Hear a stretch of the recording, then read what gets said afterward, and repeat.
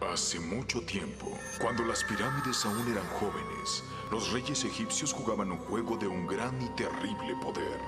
Pero estos juegos de la sombra se convirtieron en una guerra que amenazaba con destruir a todo el mundo. Hasta que un valiente y poderoso faraón encerró la magia apresándola dentro de los místicos asuntos del milenio. Ahora, cinco mil años después, un joven llamado Yugi descifra el secreto del rompecabezas del milenio. Posee energía mágica antigua, pues el destino lo eligió para defender al mundo del regreso de los Juegos de las Sombras. Al igual que lo hizo el valiente faraón hace